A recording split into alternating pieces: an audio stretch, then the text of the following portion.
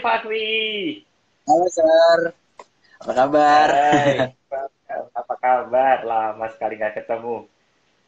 Yes, sudah lama nggak terakhir ketemu, ketemu Sir. kapan ya? Kayaknya di kelas waktu kamu masih SMP ya, ya? I think so. Eh, Halo? kayaknya, ya, ya, ya, ya. SMP kelas 3 mungkin ya. SMP kelas 3. That was long time ago, gitu kan. Oke. Oke, saya sa- sambut teman-teman dulu ya. Oke, teman-teman. em, selamat sore semuanya. Eh, hari ini kita mulai lagi dengan saya Andrew Ardianto dari Jodoh Powers dan kita memulai sesi live live IG kita Win from Home gitu. Jadi ini adalah sesi live IG di mana kita tetap memastikan bahwa kita tetap produktif gitu kan apa pun yang sedang kita hadapi buat teman-teman yang sekarang sedang menghadapi di daerah Jabodetabek yang sedang menghadapi PSBB PSBB sorry PSBB eh, jangan khawatir bahwa ini ini juga tetap bukan berarti kita tidak bisa menjadi produktif dari rumah gitu ya. Oke, dan hari ini teman kita yang bersama-sama dengan kita adalah Fakri Bagus gitu ya. Dia em, saya mengenal Fakri ini waktu masih SD ya Fakri ya pertama ya. Gitu ya. Sekarang udah Ya, jadi ya. Udah jadi anak muda yang ganteng gitu ya. Eh, dan saya saya sangat kagum dengan Fakri gitu ya dari semenjak usia mudanya dia sudah sangat menekuni bakatnya dan minatnya di bidang bermain violin, bermain biola gitu ya. Dan sampai hari ini kalau saya mesti sebutin satu persatu prestasinya Fakri sih kayaknya udah eh, saya sendiri juga bingung mau nyebutin dari mana gitu karena udah selalu banyak dan nah itu kan dia udah udah siap-siap violin gitu ya. Dia sudah main di kancah internasional. Gitu ya. Oh, mantap. Gitu ya. kami kami senang gitu kan kami ngelihat prestasi-prestasi kamu gitu ya em, luar biasa sih Pak Fakri gitu ya. Oke, mungkin bisa cerita sedikit deh Fakri, mungkin bisa kenal-kenalan sama teman-teman di sini gitu ya. Boleh deh. Mm-mm. Oke, eh, buat yang belum kenal aku, ya tadi mungkin eh, Sir Andrew udah sedikit menjelaskan ya. Jadi kita udah ketemu lama lah sama Sir Andrew eh, sejak aku SD. Cuman eh, mungkin beberapa teman dari yang nonton mungkin dari JRP juga belum tahu aku siapa. Jadi aku Fahri, eh, stage name aku adalah Fahri Violin. Eh, aku adalah pemain biola sekaligus juga musik produser gitu. Dan aku belajar biola sejak dari 2008, which is saat aku umur 8 tahun. Sekarang tahun ini aku mau 20 gitu. Jadi udah 12 tahun lamanya lah istilahnya belajar biola Ya, ya. dan dan alhamdulillah eh, untuk karir dalam biola sendiri aku sudah pernah tampil kurang lebih 11 negara di dunia, baik di Asia maupun di Eropa gitu. Wah, mantap. Dan aku merupakan ya, dan aku merupakan murid terakhir dari Maestro Biola Indonesia almarhum Pak Idris Hardi. Ya. Yes, yes. Itu yang saya juga selalu ingat gitu ya. Em, sebagai saya termasuk generasi X yang yang ya bisa dikatakan di tengah-tengah antara baby boomers ke Y gitu ya. Saya dari tengah-tengah. Saya cukup Ya. menikmati musik-musik Pak almarhum Idris Sardi gitu ya eh, sebagai salah satu maestro biola Indonesia gitu ya dan menurut saya sih legendaris lah dia tuh orangnya bener-bener luar biasa lah gitu ya. Oke, luar Fakri, biasa. Fakri bisa cerita, bisa cerita bagaimana pengalaman waktu Fakri dulu em, bisa kok bisa berguru sama Pak Idris Sardi itu gimana nih? Boleh cerita buat teman-teman deh. Oke, eh, jadi gini, mungkin eh, aku cerita dari pengalamannya lebih mundur ke belakang. Jadi awal Boleh. mula tampil, kemudian sampai bisa ketemu dengan almarhum Pak Idris Hardi. Jadi Hmm. eh, awal mula tampil itu, eh, jadi kan aku kan belajar itu bulan Juni 2008.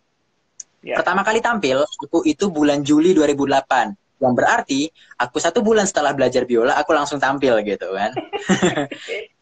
Nah, ya mungkin memang sebuah keberuntungan. Dan mulai dari penampilan itu, setelah penampilan itu banyak orang yang nyamperin aku atau mamaku juga nanya-nanyain. Setelah dari panggung itu akhirnya berlanjutlah ke acara-acara lain. Jadi aku manggung ke acara lain, acara lain, acara lain gitu. Nah, Ya. awal aku berguru itu sama namanya Mbak Tutut. Jadi beliau ini guru privat biola lah istilahnya. Setelah itu, setelah belajar sama Mbak Tutut ini, aku pindah ke lembaga pendidikan musik Farabi gitu. setelah di Lembaga Pendidikan Musik Farabi selama dua tahun, baru pada saat 2012 akhir, tepatnya mungkin bulan Desember, mungkin ya sekitar bulan Mhm, itu, mhm. aku diundang tampil di acara ulang tahun Citibank yang ke-200. Jadi Wow. Citibank Internasional mengadakan Citibank Internasional mengadakan acara di Jakarta Ya. di Grand Indonesia waktu itu dan eh, eh, aku diundang di situ dan tema acaranya adalah begini. Jadi Citibank pertama kali muncul dia seperti seorang Fahri gitu. Setelah 200 tahun berkarir, setelah besar itu seperti almarhum Pak Idris Sardi. Jadi kami bertemu di acara ulang tahun Citibank itu. Jadi Pak Idris Wow. melihat manggung gitu. Dan setelah dari uh, penampilan itu Pak Idris seneng lah, alhamdulillah senang dengan aku dan akhirnya uh, aku bilang sama anaknya, aku pingin belajar dong sama Pak Idris Sardi gitu dan alhamdulillah almarhum membolehkan dan ya akhirnya bisa belajar gitu. Wow, wow. Yes. Menarik sekali. Dan belajarnya saya itu percaya bahwa nggak ada. Hah? Hah? Nggak apa-apa. Gimana? Terus terus. jadi uh, jadi jadi uh, tadi kan pertama kali ketemu 2012 akhir. Ya. Jadi Ya, itu ya. belajarnya kurang lebih dua, dua tahun lah. Jadi dari 2012 Hmm. akhir sampai 2014 bulan April gitu. Hmm. Jadi ya sampai beliau tinggal Ya, istilahnya. beliau meninggal ya 2014 ya. Ya. Ya, ya. Wow. em, saya sih percaya begini sih, Fakri. Gitu, ya. nggak ada di dalam dunia ini yang terjadi secara kebetulan gitu kan. Pasti sudah ada sudah ada sudah ada garisnya dari yang di atas gitu ya bahwa eh, bisa sampai dapat kesempatan Fahri bisa berguru sama sang maestro sendiri, sang legenda dari Indonesia sendiri gitu ya. Em, Ya. Itu privilege, itu kan it's a privilege for you gitu kan bisa dapat kesempatan itu. gitu ya. Nah, em, lalu begini, pada waktu kan tentunya begini, kalau kalau saya sendiri kan saya, saya pernah belajar musik gitu ya dan kalau udah belajar musik sama seorang yang bisa dikatakan kecerdasannya bermusik itu level dewa gitu ya, itu tuh biasanya tuntutannya kan lumayan gede nih, gitu ya. berat, Nah, berat. ya, bo- boleh cerita eh, ya struggle-struggle awal waktu ber- mulai di, berguru sama Pak Idris Sardi itu gimana? Gimana? Eh, pertama, jadi gini, sebetulnya eh, struggle-nya itu macam-macam sih. Ada struggle internal yaitu struggle antara em, antara aku belajar dengan Pak Idris Sardi, juga Hmm. struggle dari eksternal mana anggapan-anggapan orang ketika misalkan aku sudah berguru dengan almarhum Idris Sardi, yang berarti Hmm. maestro biola, aku Mm-mm. sebagai muridnya harus perfect banget, Oke. nggak boleh salah gitu. Yes, Ada itu tuntutannya. itu yang beratnya di situ. Iya, iya, iya. Jadi em, Oke. eh, hambatannya adalah eh, banyak anggapan orang yang kayak, oh udah berguru dengan Idris Sardi berarti harus perfect banget gitu kan. Berarti sebagai muridnya aku punya tuntutan untuk bermain yang sangat perfect gitu. Satu itu. Ya, Yang ya, kedua ya, ya. em, eh, belajar dengan almarhum itu eh, luar biasa sekali disiplinnya Mhm, dan mhm, mhm. apa namanya ketika belajar dengan almarhum almarhum banyak mengajarkan eh, ilmu-ilmu beliau yang apa namanya yang penuh dengan idealisme yang anak umur 12 tahun diajarkan tentang idealisme tentang seni bermusik itu kan tentu sangat berat itu sangat berat Iya, iya, iya. tapi pada akhirnya pada setelah ya dua tahun belajar setelah beliau meninggal baru terasa manfaatnya yang luar biasa ternyata oh Ya, begini ya. gitu loh jadi dengan beliau mengajarkan ilmu seperti ini ini ini ini eh, Mhm. ke depannya itu manfaat bagi aku adalah aku bisa lebih menghayati lagu kemudian aku bisa Nice. menginterpretasikan lagu yang lebih deep gitu loh bukan sekedar melodi gitu loh Ya, jadi ya. banyak sekali yang didapat dari eh, apa namanya pelajaran-pelajaran beliau tentunya Oke. Nah, bagaimana Fakri sendiri menghadapi kan gini, kalau oke kalau tuntutan internal eh, otomatis mau nggak mau kita mesti ikutin gitu ya dalam arti karena itu juga baik buat kita kalau kita digembleng oleh seorang mentor yang luar biasa itu juga merupakan sebuah eh, privilege kan yang saya bilang gitu kan. Nah, tapi kan yang kadang-kadang agak ngerepotin ini kan ah, ekspektasi-ekspektasi eksternal yang sering kali tidak tidak apa ya em, nggak tepat sasaran menurut saya gitu ya. Nah itu eh, Oke. gimana gimana? Fatih ngadepinnya gimana nih? Eh, pertama adalah gini, jadi meskipun memang uh, almarhum mengajarkan tentang uh, teknik-teknik yang memang khusus bagi beliau sendiri, kemudian idealisme idealisme beliau, tapi yeah. beliau tetap menekankan bahwa tetaplah menjadi diri sendiri, bukan hmm. bukan menjadi Idris Sardi gitu loh. Jadi itu poin yeah, pentingnya yeah. bahwa yeah. sekalipun berguru dengan Idris Sardi, sekalipun berguru dengan um, siapa pun pemain biola maestro dari uh, luar negeri atau bagaimana, yeah. itu tetap harus menjadi diri sendiri karena uh, menjadi diri sendiri itu jauh lebih baik dan kemudian uh, uh, tentunya itu akan kalau misalkan suatu kali kita bisa menjadi orang yang sukses itu akan mencetak sejarah juga kan menjadi diri yes. sendiri gitu loh istilahnya betul, betul ada maestro baru lagi gitu. Setelah Idris Sardi ada maestro baru lagi gitu. Jadi seperti oh, itu. Amin. Uh, Habis ini Fakri namanya maestronya Fakri Bagus Pratama dong. Amin. Dan um, setelah almarhum meninggal gitu, jadi hmm. Lebih banyak eksplorasi uh, untuk memunculkan uh, ciri khas sendiri, warna musik sendiri, kemudian um, style panggung sendiri gitu loh. Jadi okay. uh, makin ke sini untuk menimbulkan uh, signatur sendiri lah istilahnya. Jadi Betul. menciptakan signatur itu. Oke. Okay. Jadi untuk tetap menjadi diri sendiri. Hmm. Oke, okay. very very nice, very nice gitu kan. Um, jadi dengan dengan olahan yang uh, demikian banyak touch gitu ya tadi dari Mbak Tutut sampai ke Pak Idris gitu ya. Uh, yes. Jadi akhirnya ngeblend menjadi seorang Fakri yang unik, betul ya Fakri ya. Yes. Gitu. Yeah. Nah, um, Lalu gini, waktu Fakri mulai banyak panggilan on stage nih, gitu kan? Uh, challenge-challenge apa yang sering dihadapi selain dari ekspektasi para uh, pendengar yang mengharapkan, oh ini muridnya Idris Hardi nih, ada ada challenge-challenge apa lain biasanya? Uh, challenge-nya tentu banyak gitu loh. Hmm. Pertama dari masalah teknis, karena kita hmm. seniman, karena kita musisi, ya namanya masalah teknis itu pasti ada.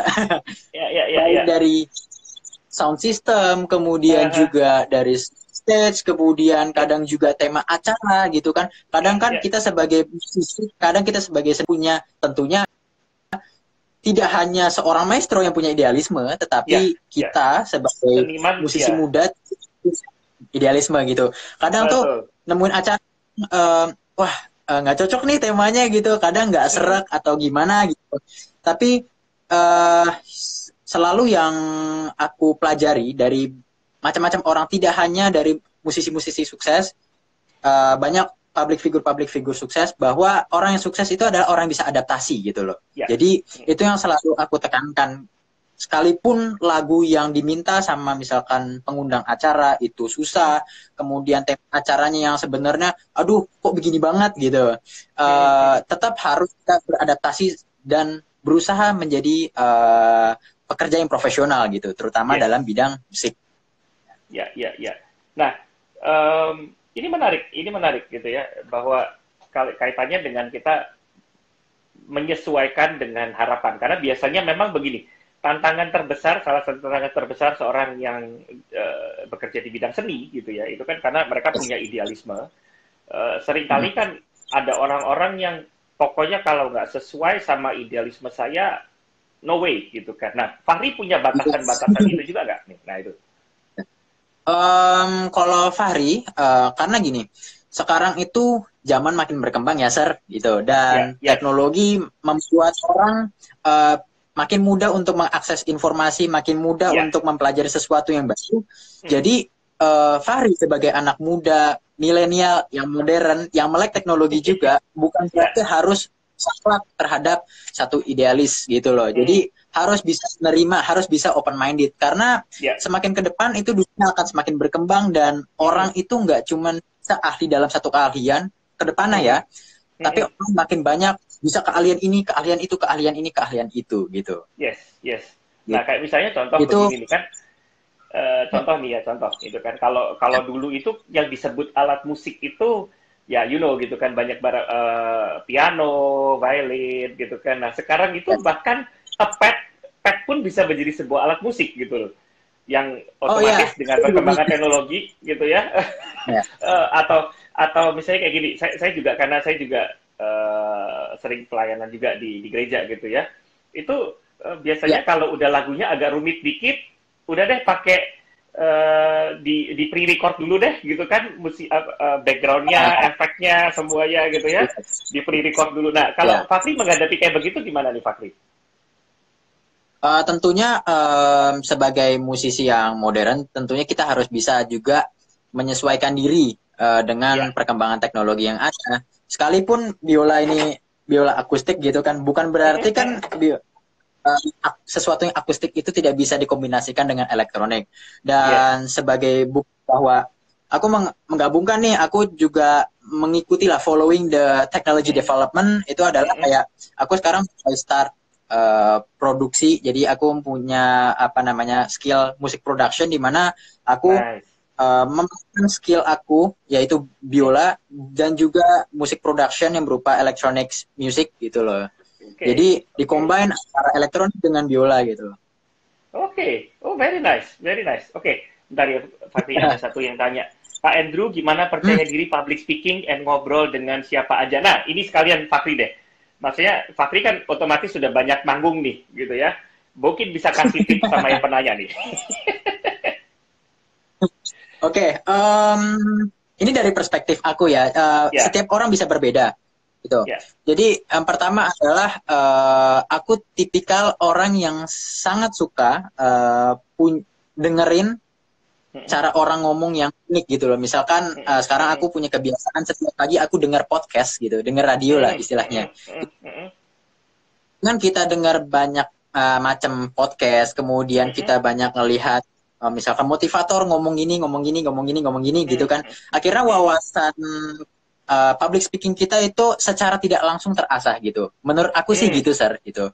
Yes, yes. Dan yang kedua adalah jangan malu-malu untuk mencoba misalkan gini uh, habis dengar uh, podcast apa oh dia cara ngomongnya begini kemudian yeah. juga uh, dipelajari cara ngomongnya kemudian dipraktekkan ke hmm. ke publik gitu loh malu-malu untuk mencoba itu sebenarnya sih kalau dari perspektif aku gitu tapi kalau yeah, dari yeah. perspektif gimana nih? Ya.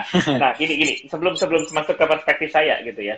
Uh, mungkin Fahri bisa cerita dulu juga sama teman-teman pengalaman pertama Fahri manggung. Pasti gini, uh, karena saya juga sebagai public speaker saya juga ngalamin bahwa demam panggung itu sesuatu yang nggak bisa kita hindari gitu ya. Yes. Nah, waktu awal apalagi yes. kalau awal-awal mungkin Patri bisa cerita apalagi waktu itu usia masih sangat belia, uh, terus manggung Apa pertama kalinya dengan violin. Oke, okay, uh, eh, pertama kali manggung uh, waktu itu pertama pasti yang namanya anak kecil umur 8 tahun itu kan hmm. pasti panik banget ya ketika oh besok manggung nih gitu kan besok di atas panggung main biola gitu dan di mana waktu itu kondisinya baru sebulan belajar biola yeah, yang yeah. kemampuan dan belum sebenarnya belum mumpuni gitu kan dan mm -hmm. ya bisa memenuhi ekspektasi nggak gitu kan?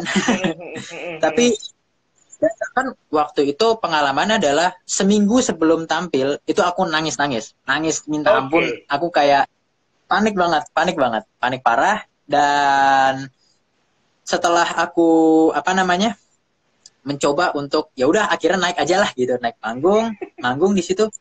Ternyata pada saat di atas panggung justru rasa takut itu hilang. Kalau aku ah. pribadi seperti itu ya, ya, aku ya, jauh ya, lebih ya. takut sebelum naik panggungnya dibanding ya. setelah ya. di atas panggungnya gitu ya ya dan ternyata ya. ketakutan yang kamu bayangkan pada waktu itu uh, bisa dibilang tidak terjadi sebenarnya gitu ya betulnya tidak terjadi gitu. Cuman kita karena udah paranoid aja duluan gitu ya, jadi kita jadi uh, yes. grogi gitu ya. Gitu. Oke, okay, nah itu sebetulnya betul. itu sebetulnya poin-poin yang saya juga ingin ingin kasih juga gitu kan hmm. kepada tadi yang pertanyaannya gitu ya bahwa um, kadang-kadang ketakutan-ketakutan kenapa sih kita itu grogi dengan waktu kita mau melakukan hmm. public speaking gitu ya itu sometimes ya. bukan karena bukan karena keadaan yang memang membuat kita grogi tetapi karena pikiran kita sendiri yang takut pada hal-hal yang bahkan nggak pasti gitu loh dan selama pengalaman ya, saya public speaking pun yang tidak pasti ini pun bahkan hampir tidak pernah terjadi gitu kan ya.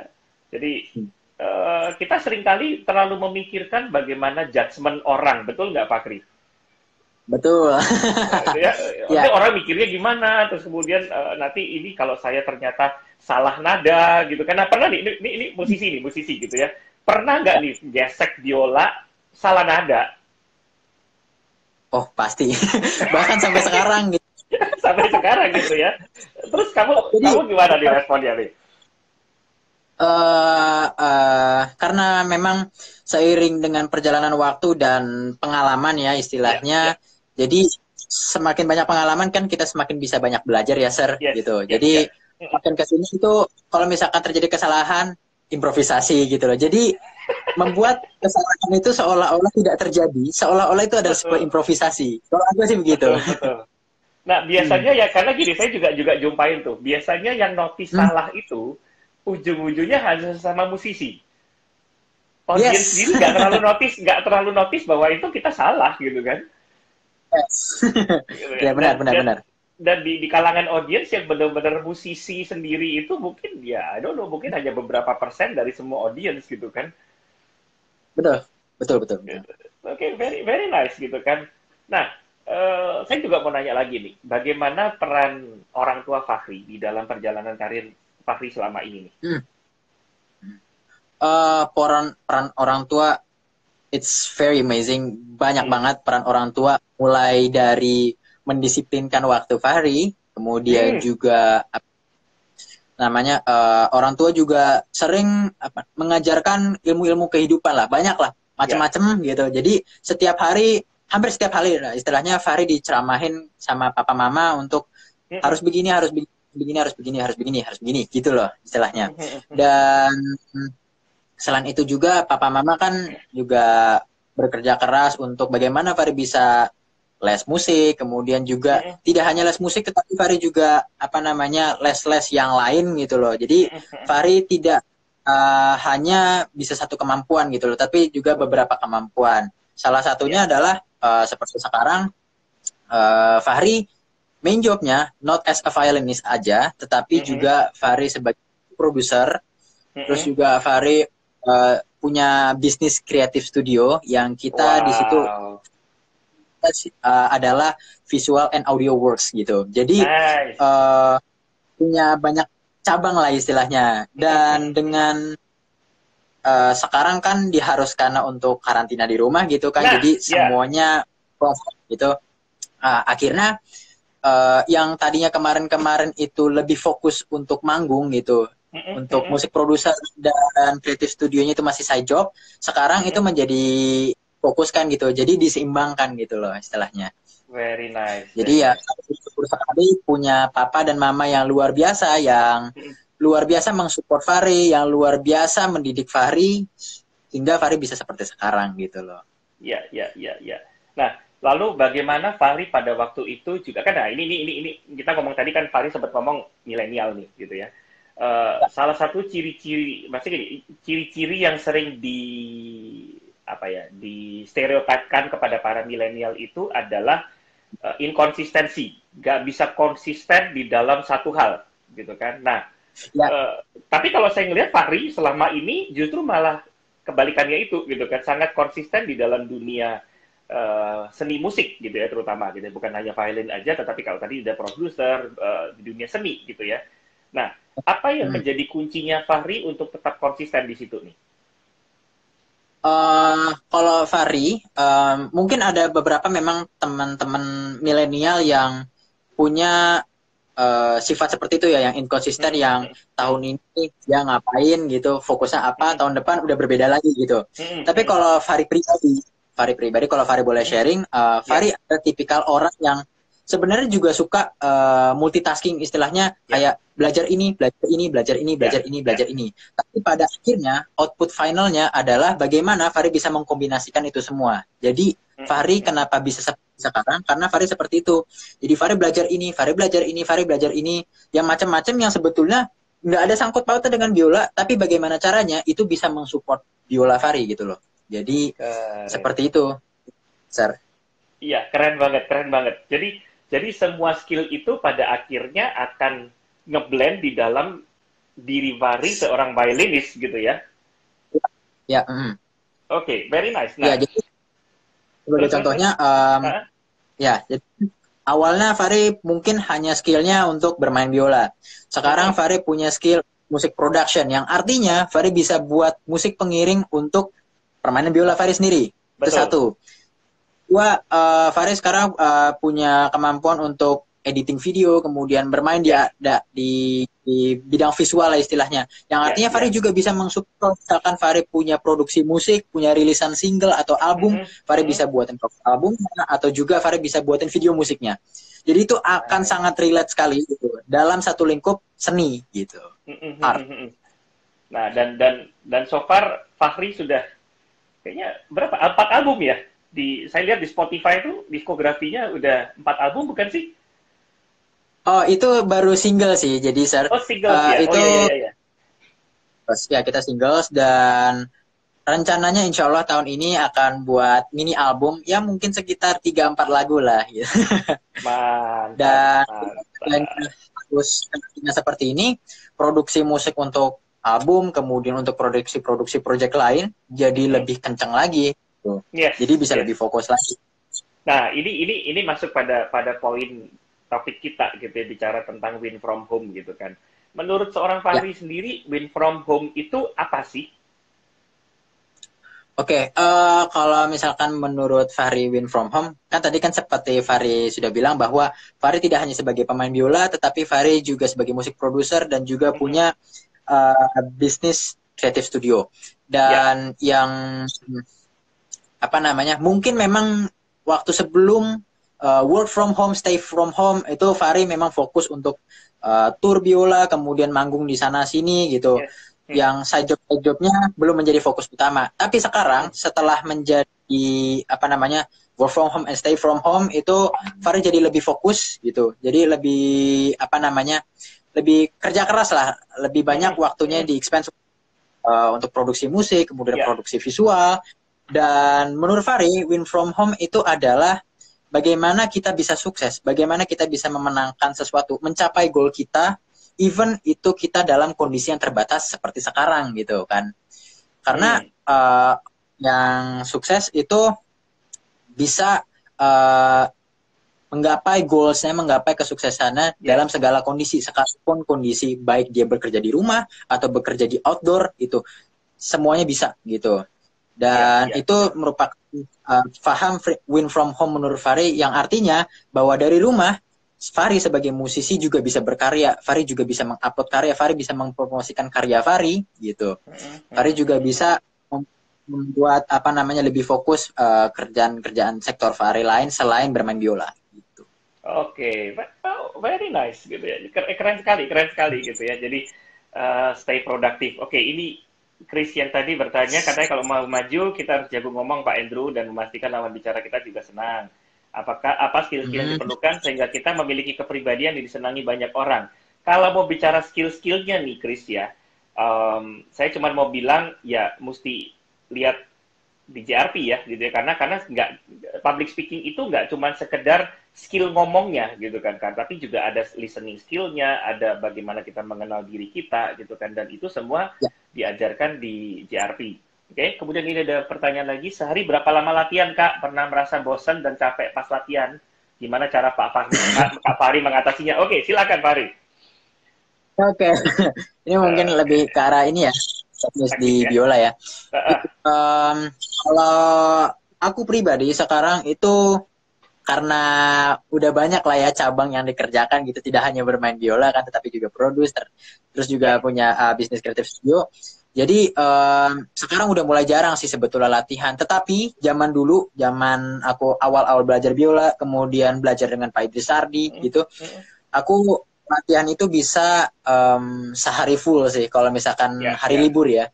Mm-mm. Dari subuh pagi, dari jam 5 pagi subuh uh, sampai jam 6 jam 7 sore, eh jam 7 malam, sorry.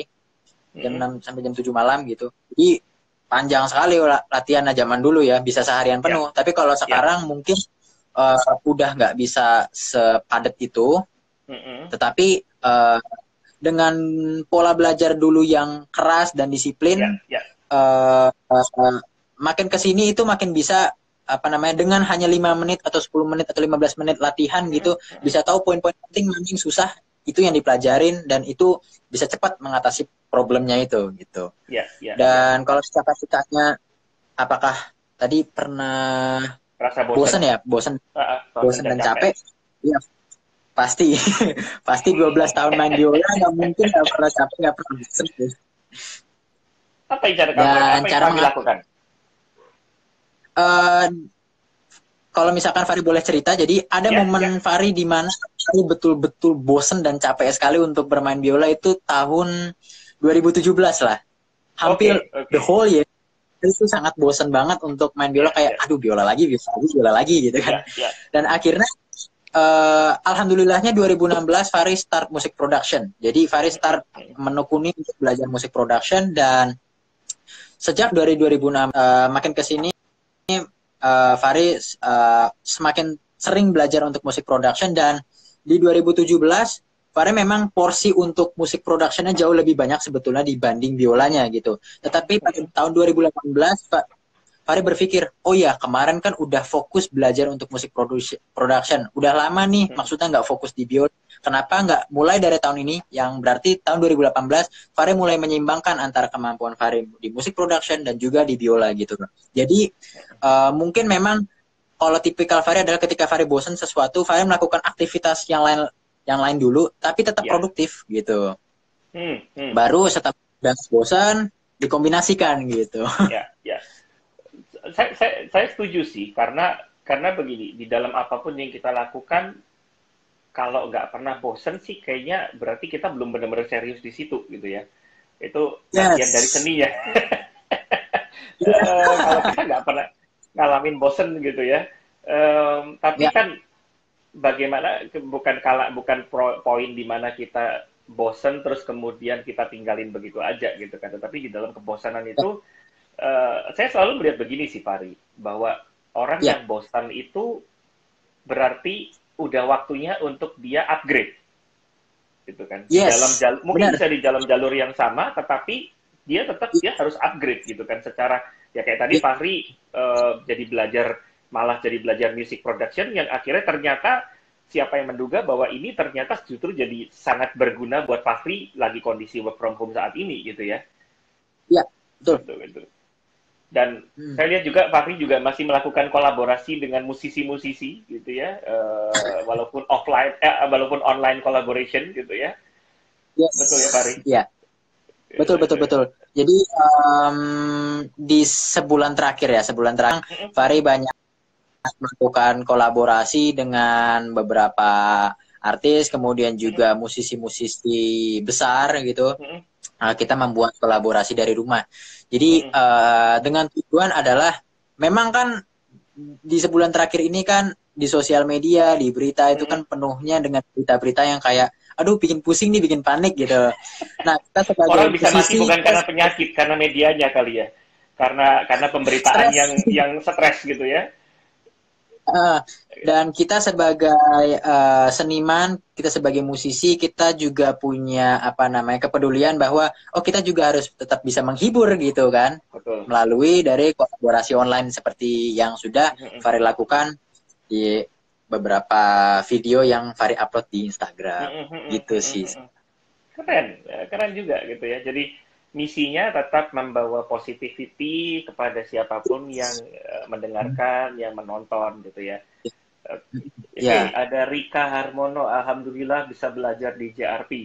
Terima kasih wow. sudah dapat kesempatan. Oke, nah mungkin Fari bisa cerita juga nih pengalaman waktu join di JRP ini. Hmm. Jadi uh, mungkin uh, Fari akan cerita pertama kali kenapa Fari bisa tahu JRP ya. Mungkin kan hmm. uh, apa namanya? Banyak beberapa orang yang kok bisa tahu JRP gitu kan. Uh, Fahri pertama kali tahu JRP uh, eh, gara-gara uh, Fahri menjadi pemenang dari lomba jagoan cerdas Indonesia tahun 2012 yaitu sebuah yes. lomba bakat yang di waktu itu disiarkan di MNC TV dan yeah. waktu itu Fahri menjadi juara umumnya juara umum mm -hmm. di mana waktu itu peserta 5.000 peserta dari seluruh Indonesia yes, dan ya salah satu uh, award dari lomba tersebut adalah uh, bisa mengikuti training di JRP gitu kan. Mm-hmm. Dan Fari mengikuti program lifetime program. mm. Yes, yes. yes. Dan manfaat yang Fari rasakan dari Fari mengikuti di JRP adalah Fari menjadi lebih percaya diri. hmm. Uh, percaya diri uh, apa namanya seperti kayak dengan hanya biola aja Fari bisa melakukan apa pun yang Fari inginkan, Fari bisa bertemu dengan siapa saja, Fari bisa ambil di mana saja dengan komunikasi dan percaya diri yang baik gitu. Mm -hmm. Itu manfaat yang Fari rasakan setelah mengikuti JRP. Ya, yeah, ya. Yeah.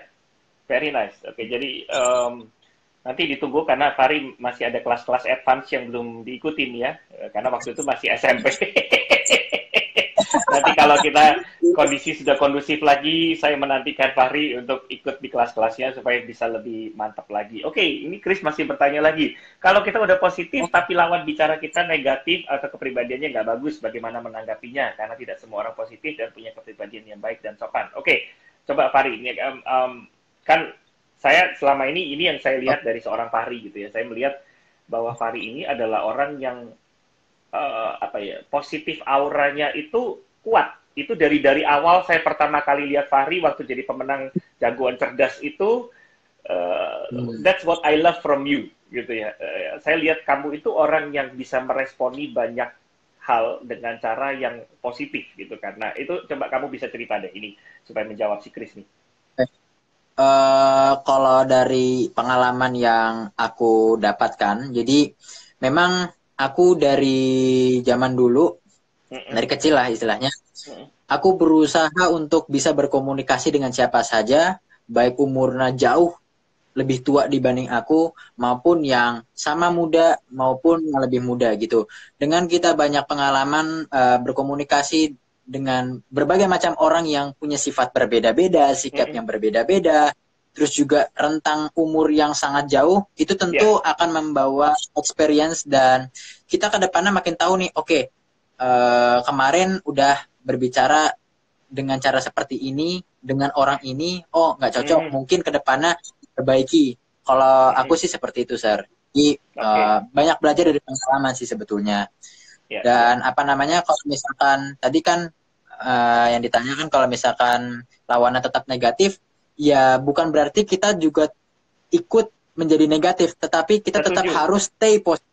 Yes, stay positif. Apa pun uh, dalam berkomunikasi kita tetap harus stay positif karena yes. uh, pembicaraan yang positif yang kita berusaha untuk tetap positif akan membawakan hasil yang positif juga. Kalau aku sih seperti setuju. itu. Saya sangat setuju. Hmm. Nah itu itu itu udah menjawab banget sih. Karena apa pun yang orang lakukan ke kita kita respon kita ya tetap harus benar gitu kan. Karena kita nggak bisa ngatur mereka gitu loh. Gitu kan. Hmm. nah uh, ini kan uh, sebentar lagi kan kita akan masuk bulan puasa nih gitu ya. Uh, ini kan tergantung nanti malam sidang isbatnya gimana nih. Puasanya dimulai kapan gitu ya. Nah uh, Fari udah ada persiapan-persiapan tertentu atau mungkin ada satu wish tertentu di bulan puasa ini ingin achieve apa gitu Um, sebetulnya uh, kemarin ya awal-awal tahun itu mm-hmm. udah banyak plan istilahnya plan yeah. untuk uh, oh, oke okay, untuk bulan segini mau achievementnya apa bulan segini achievementnya apa sampai akhir tahun udah banyak lah yang direncanakan tapi dengan berhubung dengan kondisi yang terbatas seperti sekarang yeah. jadinya yeah. mungkin memang semuanya akan sedikit berubah ya dan membutuhkan proses yang ya memakan waktu juga yang akhirnya uh, sekarang yang Fari lakukan dan Fari persiapkan selama ya tetap menjalani segala sesuatu yang yang tadi Fari sudah sebutkan musik production, okay. kemudian uh, terus mengupload karya biola Fari, kemudian menjalankan bisnis uh, kreatif studio Fari gitu. Tetap dijalankan seperti itu semampu yang Fari bisa uh, ya karena memang kondisinya terbatas sekali sekarang gitu.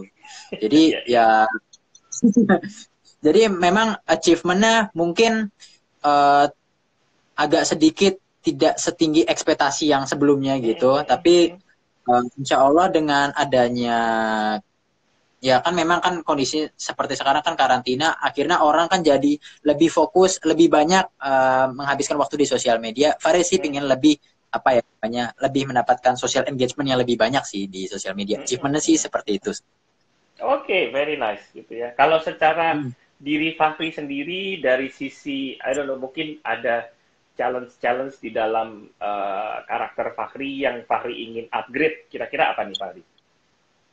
Oke, okay, uh, yang pertama tentu pasti habit habit-habit yang yang apa ya, yang kadang-kadang menghambat uh, semangat dalam berkarya gitu kan. Kadang kan juga hmm. kita ya seperti yang tadi Fari juga sudah sampaikan bahwa Fari tipikal orang yang sangat suka belajar ini ini ini ini ini. Jadi banyak sekali banyak yang ya. diserap ya. gitu kan.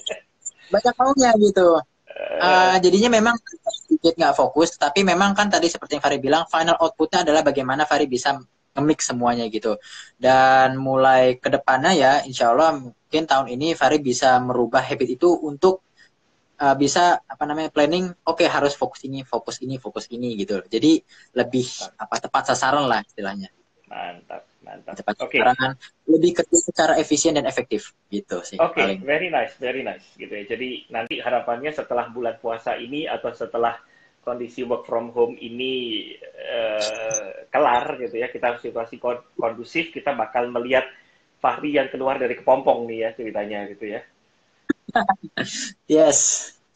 Oke. Fari boleh boleh main dong, maksudnya main satu lagu gitu ya buat teman-teman di sini. Oke, eh, sebelum sebelum ini kita kita jawab dulu deh.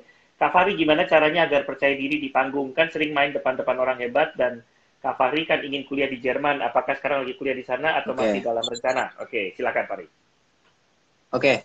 uh, eh, jadi mengenai itu tadi apa? Gimana caranya agar percaya diri di panggung? Oke, okay. uh, sebetulnya seperti yang tadi aku udah bilang bahwa itu semua karena pikiran-pikiran kita yang apa namanya oh di panggung bakal begini oh di panggung bakal begini. Jadi itu yang membuat grogi. Sebetulnya pada saat nanti kita sudah di atas panggung itu sebetulnya nggak ada sama sekali. Dan nggak ada sesuatu yang membuat kita kacau di panggung kecuali diri kita sendiri. Sebenarnya itu.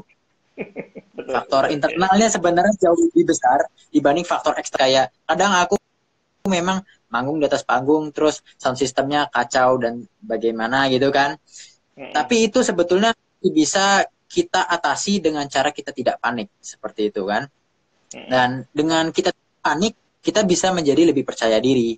Itu satu. Yeah, yeah. yang kedua um, Fari kan ingin kuliah di Jerman. Oke okay, uh, eh, jadi kalau sekarang uh, aku lagi ngambil UK College. Jadi hmm uh, ke depan aku akan melanjutkan kuliah ke UK hmm. dan untuk di Jerman itu aku udah ngambil short course sih sebetulnya short course musik production waktu hmm. itu sudah uh, dan sekarang lagi di Jakarta dulu sedang mengambil uh, eh, UK College jadi ke depannya nanti aku akan lanjutkan kuliah di UK.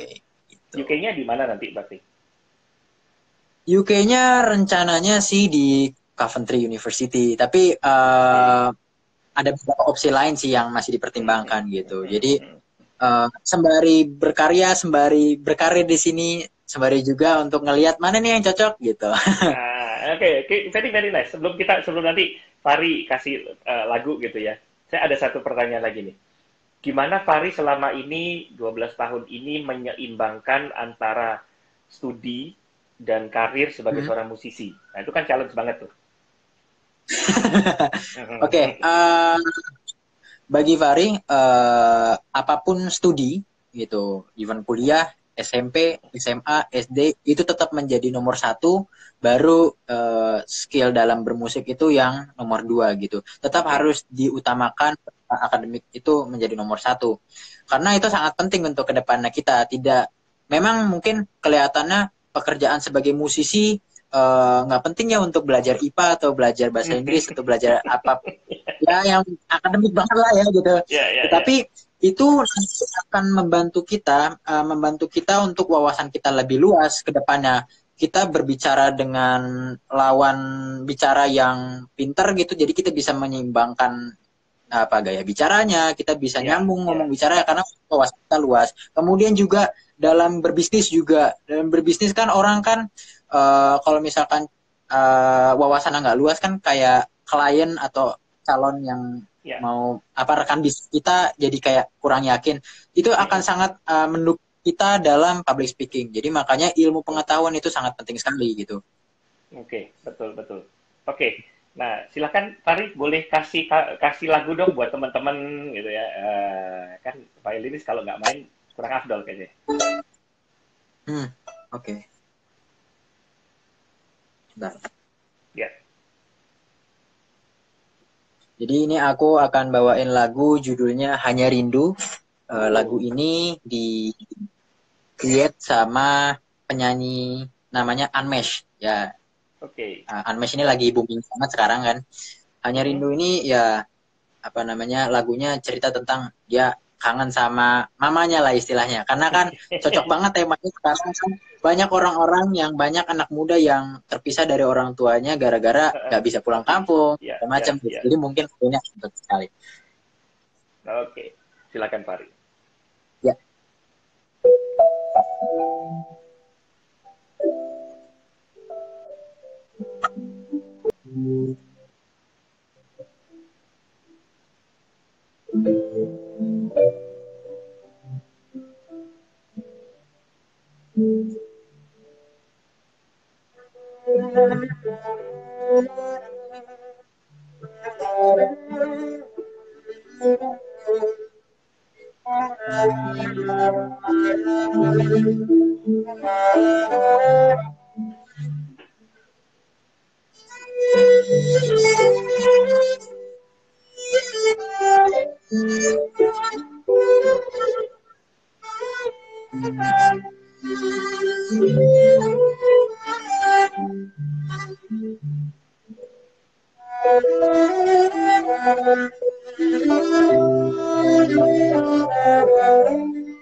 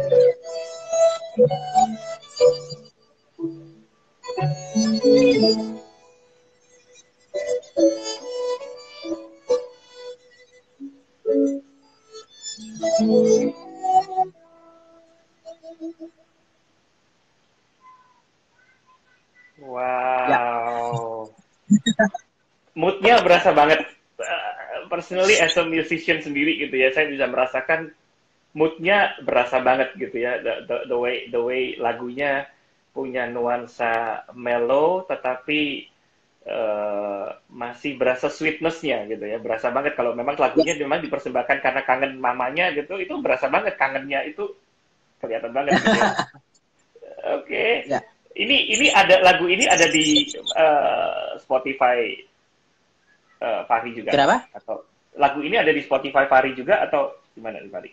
Nah, yang lagu barusan lagu cover sih, Sir. Hmm. Oke okay, oke, okay. hanya lagu hmm. cover aja ya. Oh, ya mungkin tadi kalau misalkan uh, kedengaran di Instagram live-nya kurang bagus karena ini ya koneksinya mungkin lagi iya, agak yeah, yeah, buruk yeah. jadi. It's okay. Uh, yeah.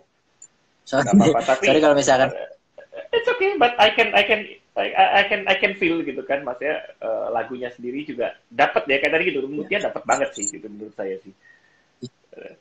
Uh, why why why why did you pick this song gitu kan? Kenapa untuk untuk teman-teman di sini gitu? Uh, this song uh, has a very good uh, meaning behind the song. Uh, dan menurut aku ini momennya pas banget karena uh, karena kondisi yang sekarang kan banyak orang yang mungkin memang ada orang yang satu rumah bisa satu keluarga berkumpul gitu bersama stay from home gitu kan. Yeah, yeah. Tapi ada juga di mana orang yang uh, misalkan satunya keluar uh, uh, kerjanya di luar negeri, keluarganya ada di rumah itu. Jadi kan mereka nggak bisa berkumpul dengan keluarganya dan uh, itu momennya pas banget dengan sekarang. Jadi um, temanya pas lah. Jadi itu yeah. yang aku pingin bawa guys itu nuansa seperti thank itu Wah, thank you. Dan okay. untuk cover lagu ini bisa dicek di YouTube, ada yes. ada di YouTube. Yes, Jadi yeah, yeah. di channel YouTube namanya Fahri Bagus Pratama. Iya, saya udah subscribe juga Fahri Bagus Pratama. thank you, sir. Saya saya saya saya demen sih, maksudnya gini, saya terus terang kalau di YouTube saya itu yang saya subscribe itu banyak yang musisi-musisi gitu ya. Um, wow ya musisi-musisi lalu kemudian stand up comedians uh, jadi karena aku, karena aku juga suka dengan komedi uh, saya demen demen gitu kan dengerin dengerin performance performance gitu ya yang ya. yang ya karena saya sendiri juga musisi gitu jadi saya bisa menikmati banget hmm. kalau ada musik-musik yang enak dinyanyi dimainin gitu ya oke okay. hmm, um, ya. nah Bari ini kan buat ya teman-teman juga gitu ya. Uh, kita live hari ini kita bicara tentang winning from home nih. Sebelum ini kan waktu kita udah karena udah terbatas. Mungkin ada ya. pesan apa buat teman-teman sebelum kita hmm. akhiri nanti? Oke, okay. uh, eh, mungkin pesan dari aku ya. Jadi gini, ketika momen seperti sekarang diharuskan kita benar-benar di dalam rumah gitu. Bukan berarti kita uh, bukan hanya musisi ya, bukan hanya musisi atau seniman, tetapi juga iya. bisa yeah. yang lain, pebisnis atau akademisi atau yeah. yang lain-lainnya bidang pekerjaan lainnya.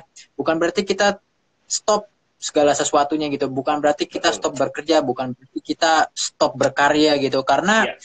Iya. uh, sekarang itu teknologi itu sudah sangat modern, sudah sangat canggih dan aku asumsi aku ya, mungkin mm -hmm di Jabodetabek mungkin hampir semua orang sudah punya yang namanya internet gitu. Iya, yeah, iya. Yeah. Kalau ya dan dengan adanya internet ini kan bisa mempermudah kita untuk mengakses informasi, berkomunikasi juga dengan orang lain di luar sana, baik di Indonesia maupun di luar negeri gitu. Jadi bukan berarti sebuah halangan bagi kita di momen seperti ini untuk stop untuk bekerja keras, untuk berkarya, enggak sih. Justru malah dengan kita ada di rumah, kita kan semakin comfortable nih tempatnya yeah, gini kan, yeah. karena di rumah sendiri gitu. Justru kita harus lebih produktif, kita harus lebih padat lagi cara apa namanya bekerjanya. Memang mungkin tidak bisa apa namanya sefleksibel ketika kita bekerja di outdoor, kita ketemu orang begini begini begini begini. Tapi berarti yang tadi kita tetap yeah. harus bekerja keras, tetap harus work hard lah istilahnya. Betul. Thank you, setuju banget, setuju yes. banget gitu ya. Jadi work from home bukan berarti kita jadi malah kontraproduktif gitu ya buat teman-teman yes. yang biasa ngantor uh, terus terpaksa harus hmm. dirumahkan uh, bukan berarti kemudian kita malah karena dirumahkan jadi nggak belajar apa-apa hmm. gitu kan kita bisa belajar sesuatu hmm. gitu ya yeah. dan um, buat teman-teman juga ini ini saya melihat hari-hari ini juga banyak sekali orang-orang hebat yang melakukan live IG juga gitu ya.